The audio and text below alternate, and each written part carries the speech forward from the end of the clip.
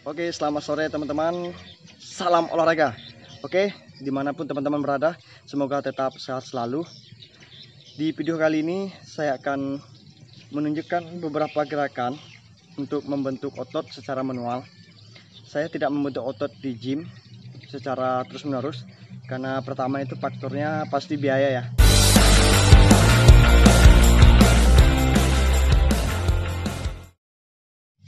Jadi bagaimana caranya membentuk otot uh, tidak harus ke gym setiap hari. Nah, teman-teman bisa saksikan video saya berikut ini, yaitu saya akan uh, melakukan beberapa gerakan push up variasi, uh, di mana dari beberapa gerakan push up itu akan membentuk dari uh, beberapa otot, baik itu otot besar maupun otot kecil. Oke, teman-teman bagi kalian yang belum berlangganan YouTube channel saya, jangan lupa untuk tekan tombol like, komen, dan subscribe. Dan juga sharekan video ini jika video ini bermanfaat. Oke, langsung saja tonton video ini.